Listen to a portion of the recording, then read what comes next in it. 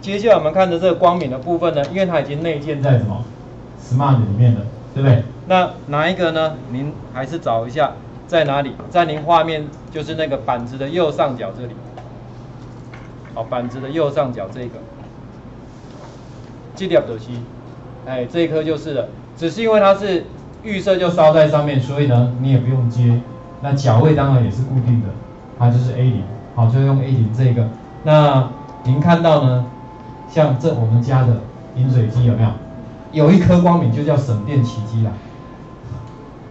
哎，要盖哦。对呀，因为光敏在这里啊，灯光控制啊，所以它灯光比较暗的时候，表示你没有在营业在休息嘛，所以它就温度就不用维持那么高。安妮啊，或者晚上睡觉的时候啊，对不对？然后等到灯灯比较亮了，我觉得你已经起床了，它就再帮你加热一次。哦，就是这样子哈。好，那么这里呢，也有人把光敏拿来做什么？拿来做那个玩具的，好像我们以前有玩，呃，就是那个玩具手枪那个瞄准器有没有？啊，然后拿来，我有看过有人阿 Duno 用这样来改，把光敏当做要像有没有那个镭射光笔啊？啊，他把它改成像手枪似的，按一下，哎，我对到，哦，就算打到了，然后就倒，人就倒下去这样。哦，也蛮好玩的，就是可以做一些发挥创意这样子。好，那我们现在呢，就来试看到底光敏它会回传什么数值，因为这个会随着环境不一样有所改变嘛。好，那您看一下这里，我们刚刚进到这个 block 里的，对不对？诶，不是进模拟器了哈，我们要进这个，不是模拟器的那一个，这边。好，这里我就先停掉。这边我就先关掉丢掉，当然等一下如果想要多个装置的也可以哈，我现在就暂时先不用把它丢掉。好，记得如果我不串联的，就是我现在没有多个装置要串联，你这个也要拿掉哦，因为没有要串联嘛，所以这就不用勾起来哈。好，我现在我的这个装置 LED 还在，那我再加上一颗光敏，那么光敏各位就要注意一下，因为它是属于会回传的。好，会回传数值的，所以放在什么传感器里面？好，这个类别里面有没有看到这里就有个光敏电阻？你按下去之后呢，你可以把它拉出来。硬体的部分我们都要先把它抓进来，但是脚位要改一下哦，因为这个脚位现在在哪里？A 零。那您稍微留意一下哈，我们的积木左手边这边，我不知道你有没有注意到这里有这个东西，有没有一个是 O，一个是 S？这有类别。S 是它本来把某一些 smart 可以用的积木就专门放在那里，所以如果你是从那边，你是从这个地方去把光敏找出来的，有没有发现积木比较少？对不对？因为就是它把 smart 可以用的单独出来哈，所以如果你从这边抓出来的这个光敏，有没有发现只有一个叫 AD？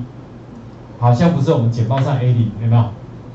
这个是要稍微留意一下哈，就是这个类别的地方，O 的是使所有开发版都可以用的，它就所有积木都一起摆在摆出来，哦，这个有点不一样，一定要稍微留意一下。好，那我一样哈，就是在 A 零这个地方，现在硬体是不是解决了？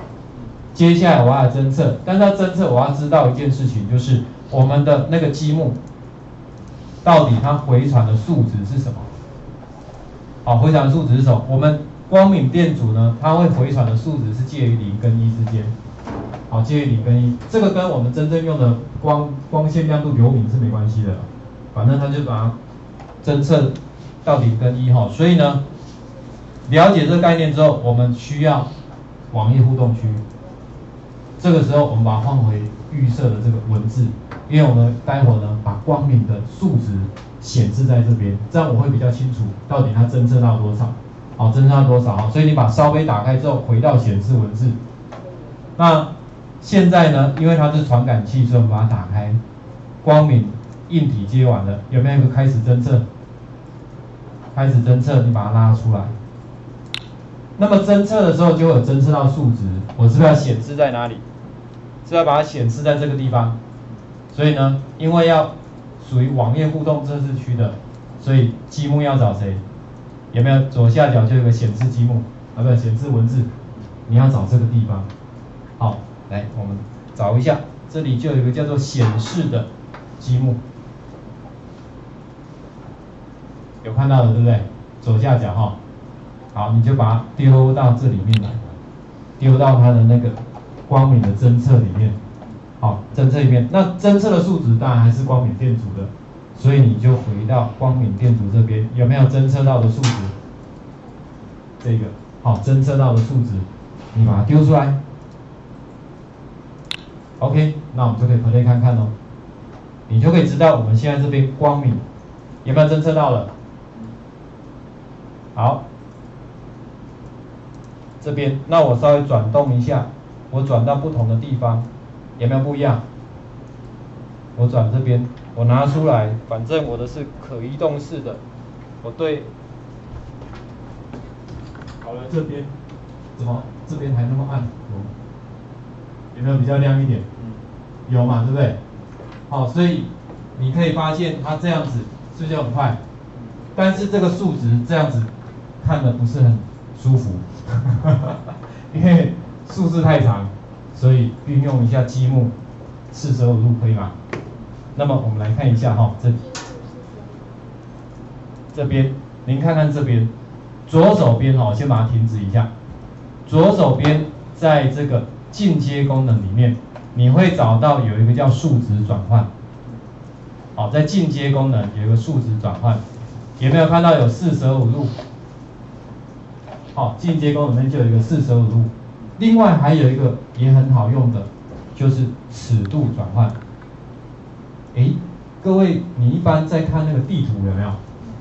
左下角或右下角是不是都会有一个叫做比例尺？数值转换、尺度转换就是那个概念嘛。我原本原始多少转换后变多少，有没有？所以等一下我们两个把它混合起来用，好吧？来，我们试看看。现在呢，我数值转换进阶功能没有数值转换，我就丢出来。本来是侦测这个没有错，但是呢，我希望它怎么样？先四舍五入，哎，但是你不要零位哦，零位只有两个结果，一个是零，一个是一嘛。哦，我至少取两位，好，取两位。好，我们 play 一下，确认一下。是有变两位数了，有没有？这样子就变两位两位了。那我们再把它转换成，因为大家比较习惯看零到一百嘛，所以那个积木再把它叫出来，比例尺的积木，尺度转换，我希望丢进来，来源是这个，然后零到一转换成零到一百，所以积木就这样串在一起就好了，好，就串在一起就好了。所以呢，我把稍微打开，我们重新看一下。这样有没有觉得比较好一点，对不对？但是你会看到它侦测的时候还是有可能，这样是不是就比较 OK，对不对？好，就会介于零到一百。当然，如果你真的想看看它有没有亮度最大到多少，手电筒给它拿出来，因为我们一般的亮度说真的，你要到一百有点困难，所以呢，我这边我把手电筒打开。好，我拿到这边来哈，这里就给它照下去，有没有到达一百？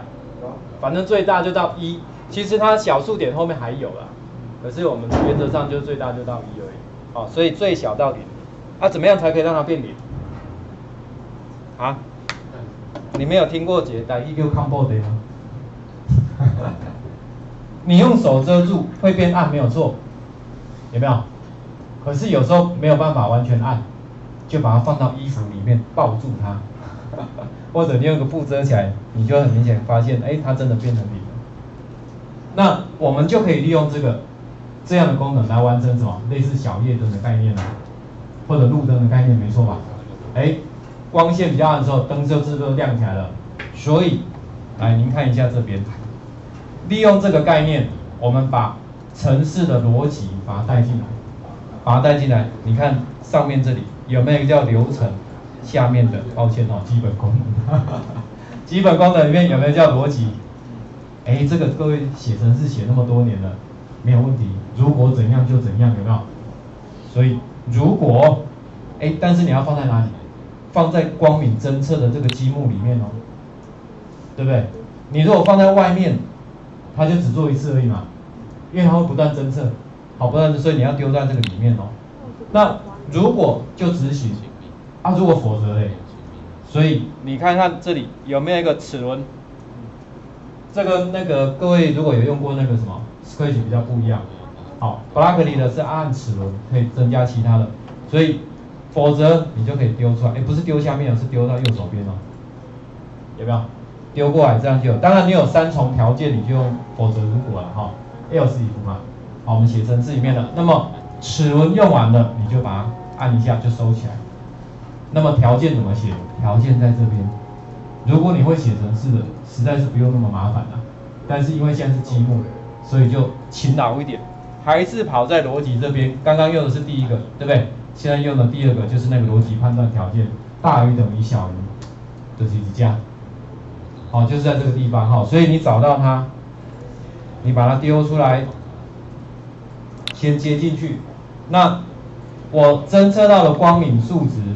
就是这个，我可以直接用复制的就好了，好，或者你重新再叫进来也可以。Ctrl 加 C，Ctrl 加 V，好，如果侦测到光敏数值，假设它小于多少？好，假设它小于多少？来，那小于多少是一个数字嘛？写程式会直接打下去，但是积木你要告诉他这是属于数学式的。好，因为也有可能是文字啊，对不对？所以那个类型哈，程式类型要确定一下，小于多少？